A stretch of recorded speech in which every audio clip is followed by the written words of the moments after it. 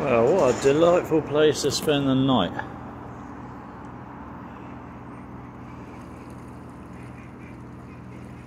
Actually, that side would have been okay, but apparently donated by the EU, according to the little sign there. That's very nice of them. Trouble is, they never put you any escape. So once you're over that side, you're stuffed. You can't go anywhere. So if somebody's uh, dying of a heart attack or something or another, then uh, nobody can get to you. Good old EU, hey? Still, we had the uh, wondrous graffiti on our side of the road. And, uh, well, plenty of wildlife still, uh, noises and whatever. Chubb and and Safe Company. Now then, talking about ridiculous wildlife, and I love wildlife, I love to see all the babies. What about this for a place to build a nest? You ever seen anything like it in your life? Now, sooner or later, two boats are going to come together at this point. And this moran has decided to build a nest right in the middle of the canal. And I can see that getting flattened, quite frankly. Now, we're an electric boat and probably going past it in stealth. Uh, there you go. She's on that uh, little nest that's floating around in the water. She's making use of recycling materials there. uh, I don't hold up much hope for your uh, for your chicks there or your eggs. Right, well this is the Wolverhampton Tunnel. I'm not really going to do much video here because there isn't much to see. Suffice to say that we came up the locks yesterday unscathed with a gaggle of uh, CRTs helping us, much to Sue's uh, delight. And uh, that's behind us now. Gas Street Basin is our next port of call through the Tipton locks. We come from a place near Tipton, but it's not the same one. Three Tipton locks. All right, Sue's. There's a bit of a row going on here over boyfriends and get get out of it. Get out of it.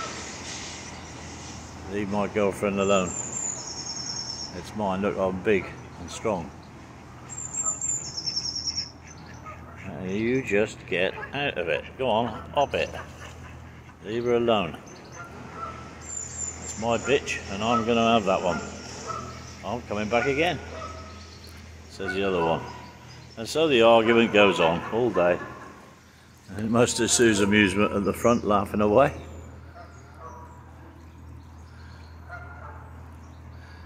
There we go. Sorry, dear? Yeah, get off my bitch. Right, the Wolverhampton Tunnel. One thing about it, it's big. Wouldn't have worries about meeting another boat in here. Right, so we're going to slide out of Wolverhampton and into the middle of Birmingham. Cut. Well, still floating through outskirts of Wolverhampton and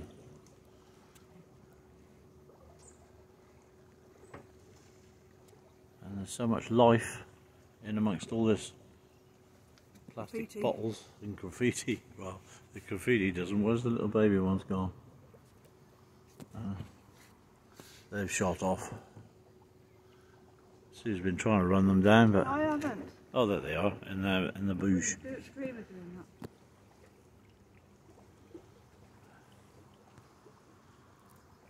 There you go. Some more squawking Canadian geese coming to your area soon. there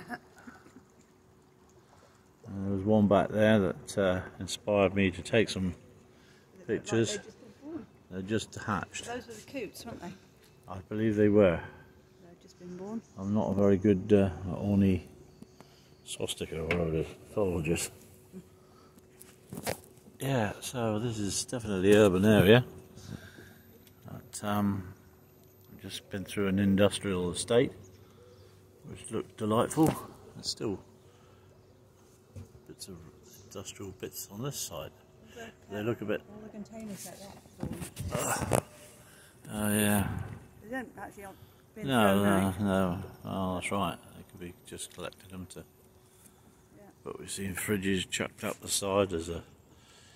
Uh, we actually saw our first cho- shopping trolley this trip in the canal. Asbestos. Asbestos. All manner of things. Delightful. That's a piece of polystyrene. Been there for some time because it's starting to degrade. Not very nice, but in amongst it all, Yeah. in that. in amongst it all, life is existing. It's quite amazing. Um, chicks and whatever. This is a pretty good area actually. What we just floated through back there. But we wanted to take the chicks. Sue wanted me to take the chicks. It's very quiet and peaceful. Yeah, it's. It's our earliest uh, start, I think. What time is it not even at- yeah, five to eight. an hour in a minute. Yeah, We're gonna have, we're gonna have coffee and toast. coffee and toast. Mm. I've had porridge already. Morning.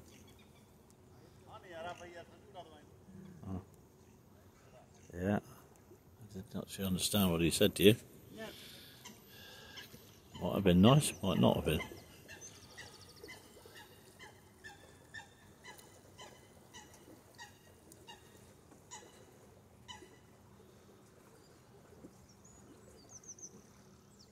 Yeah, right, well, that's another three minutes of your life you won't get back. I've got to be honest that um, I do like the countryside better. this is uh, interesting, but I wouldn't want to be doing this on a regular basis. Um, the countryside with its dramatic fields and whatever. Then you've got to do it all to appreciate it. You've got to see it all to appreciate the countryside. That's what I wanted to call the boat, yes, dear.